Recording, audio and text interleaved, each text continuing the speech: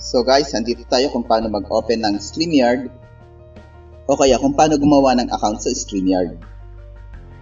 Open StreamYard, search nyo lang sa Google. Meron siyang get started or login. Since meron na akong account, tatype mo lang yung account mo.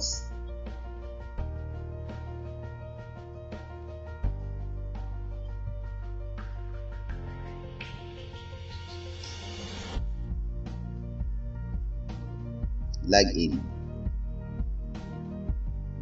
Magbubukas ka ng Gmail mo kasi isesend doon sa iyo yung code.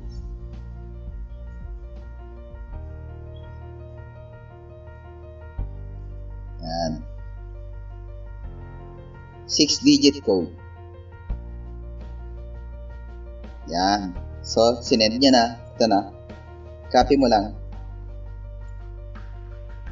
Napakadali lang guys. So, ika-copy mo lang yan doon.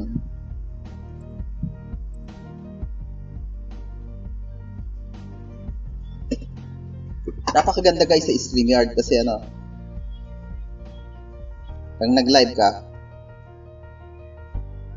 parang TV style na siya.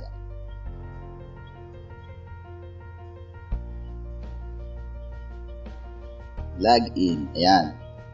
So, pumasok na.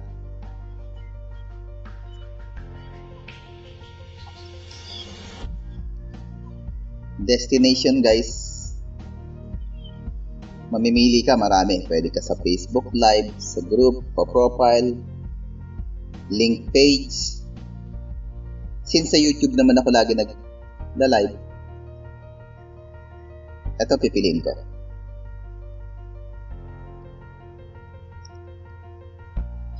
Sign in to YouTube. Sa unang ano lang yan guys, unang try. Sa susunod na maglalag kayo, hindi na tatanungin ng ganyan. Ni-reset ko lang kasi yung Google ko, kaya for, for this tutorial, makikita niya. Pero if makikita niya, marami na akong test live doon. Create broadcast. Siyempre, yan na yung thumbnail ng YouTube ko. Lalagyan ng title.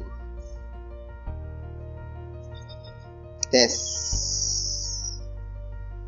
for StreamYard. Title, description, testing, tutorials. Ibababa nyo, set up public. Since tutorial to, sa unlisted na lang. Pwede kayo guys dito mag schedule or kung gusto mo, create broadcast kagad pero this time, ituturo ko sa inyo yung schedule. Mag-upload ka ng thumbnail. Kahit anong thumbnail, okay na yan. Para lang malaman nila. Set as premiere.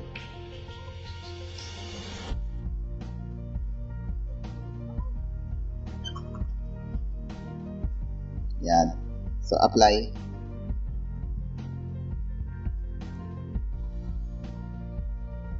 Set as premiere mo lang yan ah. Change. Pwede ka maglagay ng oras today. Yan. 240. Since wala pang alas 3, ayan, pwede mo na siya i-create broadcast.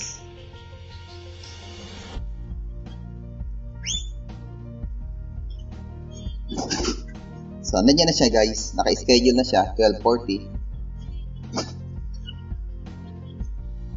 Pero if gusto mo kagad, halimbawa, hindi ka na makapaghintay sa schedule na yon, pwede mo na umpisahan yung meeting kagad. Ito yung sinasabi ko. You're entering a video. You're entering You're entering a broadcast studio. Siyempre, tatanungin ka kung may mic at camera. Of course, allow. So, pag hit mong yan, mag bo-broadcast na siya kagad. Pag hit mo niyan, magbo-broadcast. So, ayan na siya guys.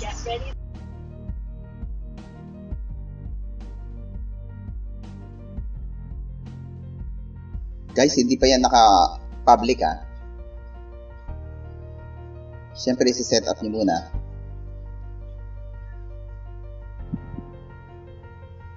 Then after that, maglalagay ka ng display name. Siyempre, Chris. Bago ka mag-enter broadcast studio, lagay mo muna yung name mo.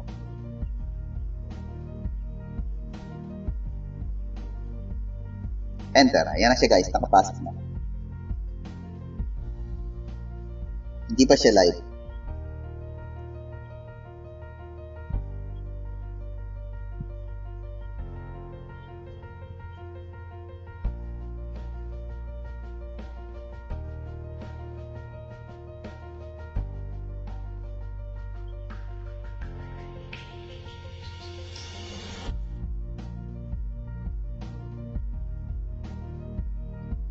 If mapapansin nyo, ito yung settings. Pag hinit mo yung go live, hindi yung mga settings, hindi pa siya guys nakapasok. Actually, hindi pa siya naka-stream yan. If you hit go live, yan, go live. So, siyempre may confirmation.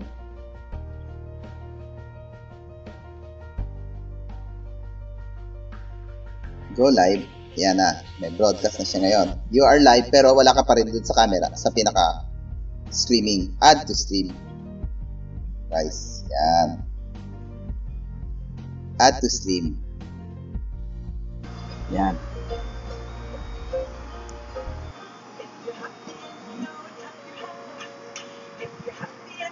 May mga comment section. So I hope guys may na-share na naman ako sa inyo. Napakadaling gamitin ito. Pwede kayong mag live sa Facebook or sa YouTube kahit sa ano account na meron siya.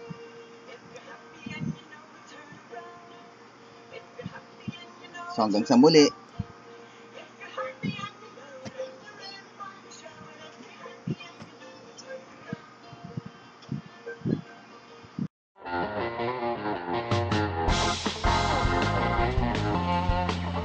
Chris TV Love